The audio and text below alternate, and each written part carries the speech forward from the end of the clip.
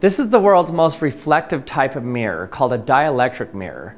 It reflects over 99.5% of visible light. So to give you an idea how reflective this is, I was actually looking for the reflector that I had set down on my table here and I couldn't find it. And I was like, oh, what's this white paper here? And this is actually the reflector reflecting off of the white wall. it's literally the same brightness as the white wall here. Like that is just crazy. Normally when you hold a mirror up, you can easily see it's a mirror because it's a slightly grayer. It's grayer because it's absorbing some light. But look at this, it like disappears into the wall. It's only when I turn it away and shine it at the darker floor that you can actually see it. But when it's reflecting off the wall, it just disappears.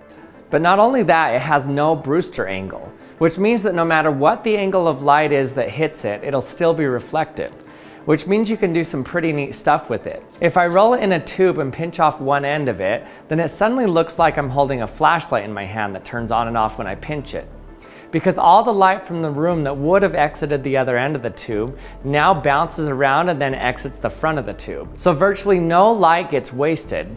Any light that goes into the tube comes right back out.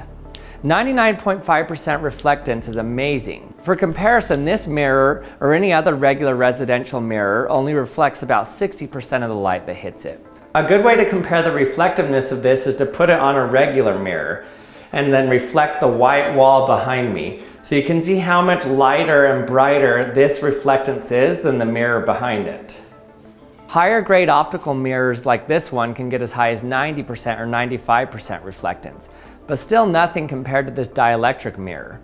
I got this material from 3M when I visited their innovation center. It's called a 3M Enhanced Specular Reflector or ESR film. After 3M developed this mirrored film, they weren't fully aware of its optical properties. But one day an engineer was in a long meeting and was holding some of this film in his hand. He was just playing around rolling it up and noticed the same thing that we just saw here. When he rolled it up and pinched one end, it became very bright. Now this confused him because he knew that this was made of dielectric material, which meant that it should have what's called a Brewster angle. The Brewster angle is the angle at which the reflection off the surface becomes completely polarized. But if that were happening, the light should extinguish really quickly and not bounce around and come back out the tube. You can imagine how many times it's bouncing off the surface here before it leaves. After some research, they found that the equations that derived the Brewster angle were for isotropic materials only, meaning materials that look the same no matter what direction you looked at them. But this material was made of a polymer that looked like spaghetti stretched out on the microscopic scale. So it looked different depending on which angle or which direction you were looking at it. So what they did is they derived the equation for anisotropic materials and sure enough they discovered that it doesn't have a Brewster angle. Now the results of this are a big deal. This meant that it's an extremely efficient reflector, especially for polarized light that's usually found in cell phones. In fact, this material right here is probably one of the reasons that you're watching this video on a cell phone today. When cell phones were being developed, one of the biggest setbacks for cell phones is that they had horrible battery life. The display actually used most of the battery due to the need for multiple lights. But then this material was introduced as a way to light up the entire display with only one light. You can see how it efficiently spreads the light over the whole surface. So this material began to be used everywhere in cell phone displays and countless other electronic displays. It made cell phones last much longer and become much more practical for everyday use. And before we continue, I'd like to thank the sponsor for this video, BetterHelp. These last few years have been difficult for everyone, and one of the most important things you can do in times like this is to focus on your mental health. BetterHelp is the world's largest therapy service, and it's 100% online. With BetterHelp, you can tap into a network of over 30,000 licensed and experienced therapists who can help you with a wide range of issues. To get started, you just answer a few questions about your needs and preferences in therapy. That way, BetterHelp can match you with the right therapist from their network. Then you can talk to your therapist however you feel comfortable, whether it's via text, chat, phone, or video call.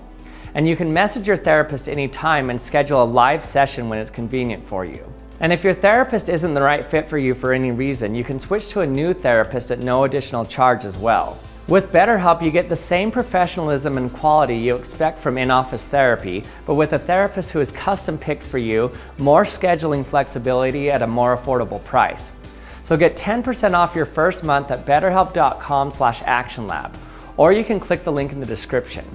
And thanks to BetterHelp for sponsoring this video, and now let's get back to our experiment. With the surface as reflective as this ESR film, you may find it odd to hear that it's completely non-metallic.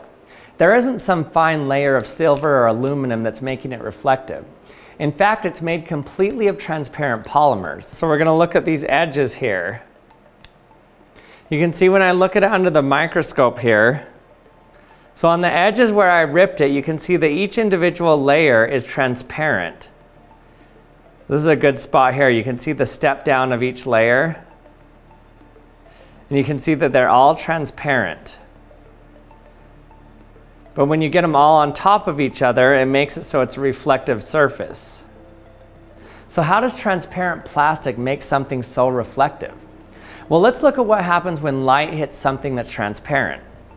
Right at the surface between the air and the material, some of the light gets reflected and some of the light gets transmitted, meaning it goes into the material. The light that goes into the material bends a little bit depending on the refractive index. Now if we put another transparent material right below this layer with a different refractive index, then the light will do the same thing. Some will get reflected and some will get transmitted. In this case, the two path lengths of the beam differ by exactly one wavelength, which means you get constructive interference.